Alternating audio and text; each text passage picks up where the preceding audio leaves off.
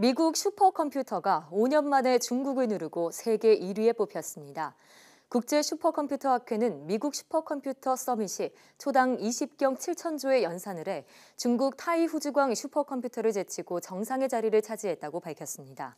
이로써 미국은 2013년 이후 중국에 내줬던 세계 최강 슈퍼컴퓨터 보유국 타이틀을 되찾았습니다. 국제 슈퍼컴퓨터 학회는 매년 6월과 11월 두 차례 전 세계 슈퍼컴퓨터의 성능을 평가해 발표합니다.